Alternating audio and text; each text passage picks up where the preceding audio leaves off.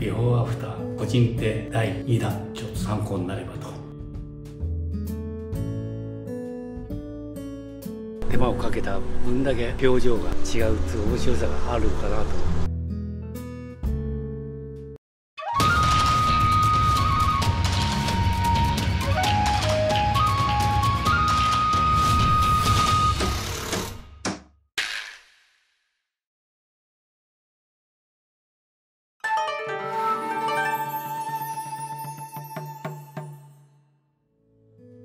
おはようございます。今回はですねビフォーアフターのあの個人手第2弾をお送りしたいと思っております。施工法はないですけどもまああのこんな感じがこうなったというまあ一応写真集にあ写真集じゃないな。けどあれだな。動画集を見ていただいてどっかちょっと参考になればと思ってお送りいきたいと思っております。どうぞよろしくお願いいたします。じゃあどうぞ。まあ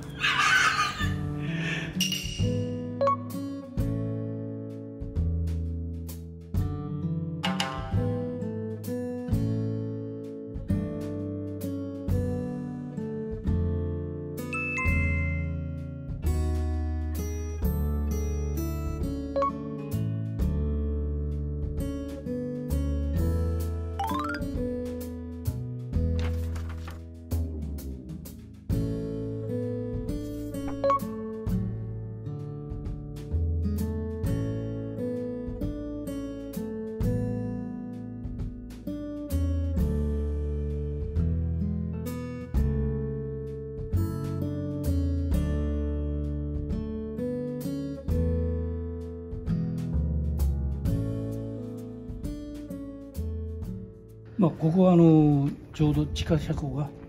の上のスラブなんでこの空間においてはこうやって鉢で楽しんでおられて。でまああの土の部分はこうやって人類で植物を植えてある感じですね。ここの空間をもっと活用したいということでここまあ今テーブル出してありますけどももっとコミュニケーションができる空間として作りたいと。いうお話がありましてここで今までお花だけの楽しみ部分だったんですけど今度は人を招いたりもっと人が集まれる集いの空間に作っていこうかなと思っております、はい、レンガという素材でちょっと全体を使っていきたいと思ってます。そうですね。まあ34種類ぐらいのちょっと色合いの違う形のやつは使っていきたい、まあ、用途がちょっと違うんでそれによって種類が変わってきますけども。はい。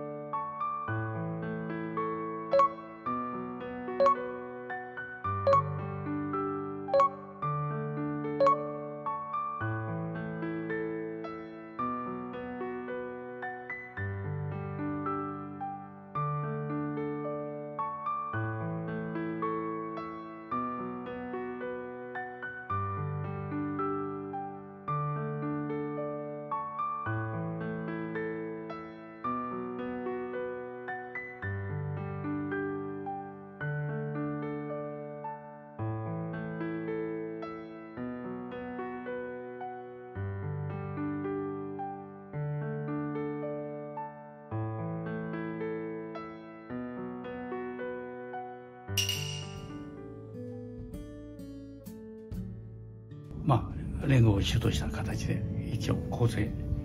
しました、うん、耐火レンガは絶対使わなきゃいけないんで、まあ、耐火レンガだけで分でもちょっと色合い的に、まあ、この面積上には人が集まって、まあ、いろいろバーベキューやったりピザやったりという形で、まあ、人が集まってコミュニケーション的なものはそういう場になったと思います。はい。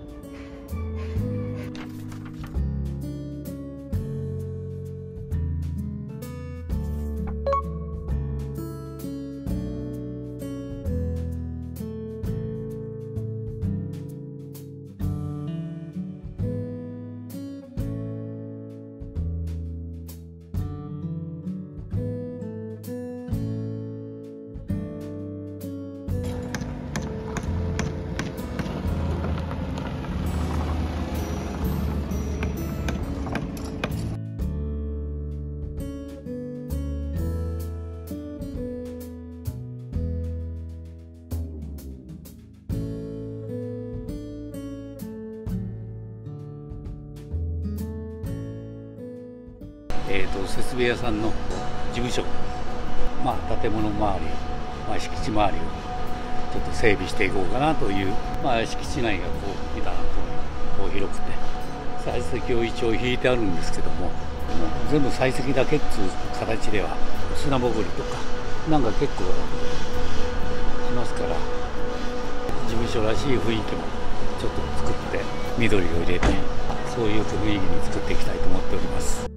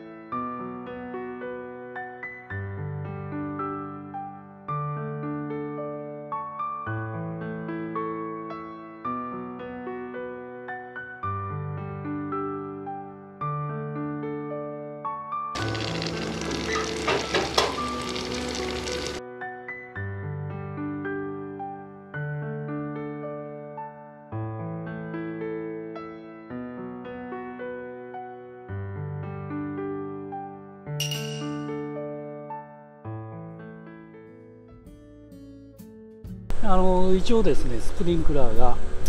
えー、と4つ。で立ち水栓が 2, 2箇所ありますからそれを移動することによって結構全面的に冠水はできますから事務所というかちょっと面白い洋風の建物にデザインになっておりましたから建物際だけはちょっとレンガ色とそれからちょっと植物を多めに入れた形で、まあ一般住宅のような雰囲気に。ここもちょっとある程度あのつなげてほっときゃ冠水じわーっと染み込むような感じでちょっと事務所にいる間に水を吸った時にもひねっとけば2 3 0分ぐらいもしくは1時間ぐらい出しとけば冠水できますから。で今まで採石だけだったんで粉っぽく埃っぽくなっちゃうんで、まあ、これだったらもう完璧に砂ぼこりがないんで、ええ、でほとんど雑草も生える面積っていうのがないんであとはもうちょっと芝生の中これから雑草がね生えたりしますけどもまあそれはもう緑としてはそんなにおかしくはないんで一つの事務所と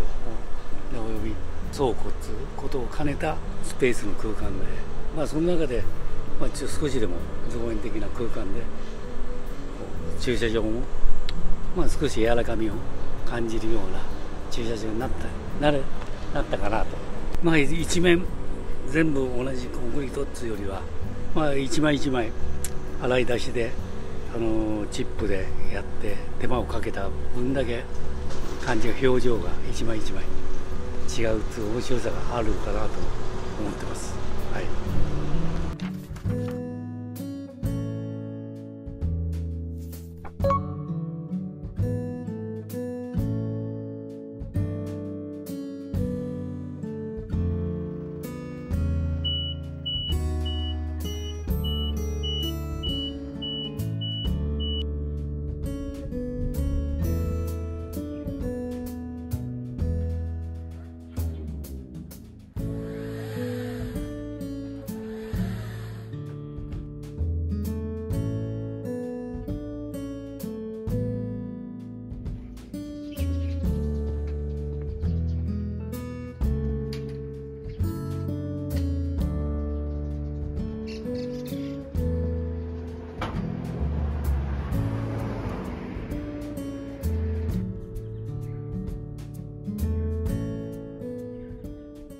年数的に。もうそうあの20年近くなってますから。それを全部撤去して新しいデッキとフェンスをウッドフェンスを作っていきたいと思います。庭としてはちょっとあの、まあ、広くはないですけどデッキをやれば結構広く活用ができるスペースですよね。フラットになってドアからそのまんま狙える。もう逆に庭っつうよりもう一部屋外に部屋ができたっていう感じの使い勝手になりますから部屋との一体感が出て広く感じるんですよね、うん、フェンスです。えー、っと日本復興から車があってやっぱり一番人通りがプライベート的な空間するにはやっぱりちょっと高さのフェンスがないとまあここでくつろげないっていう。まあだからまあ目隠ししちゃうんですけども雰囲気的にデザイン的にも楽しめるような感じにはしたいなとは思ってますけど。全部フェンスであの木でこう来ないで。ここの角においては違ったデザインで壁を利用した形でちょっとしたお花を楽しむことができるというか。でどうしても立数線がこうありましてこれをちょっと移動使持って使いやすい。でまたデザインこの系の中のデザイン的な雰囲気に持っていきます。はい。だか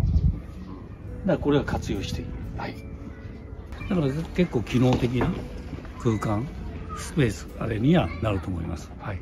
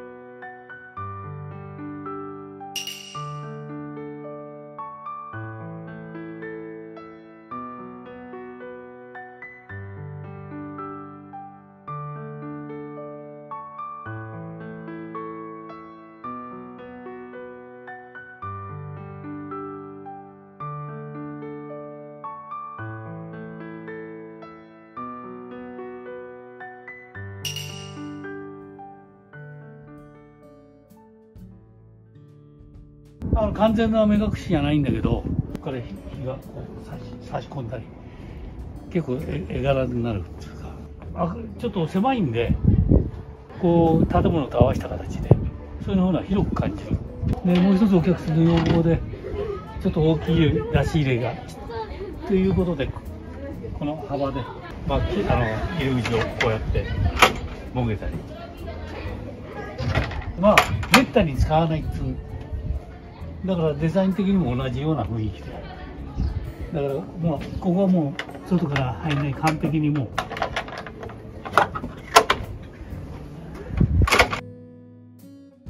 もう完璧に開け開けられない状態にしちゃっております。全部がこのままデッキだとね面白くないんで。一応植物を演出できるスペースはちょっと計算してもらいました。そうですね。これはちょうどいいぐらい。